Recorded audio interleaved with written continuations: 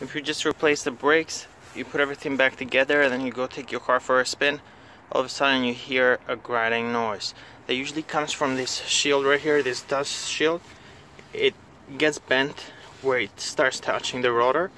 Uh, all you need to do is remove the wheel just inspect it and if there is any place where it's too close to the rotor where it's touching it just use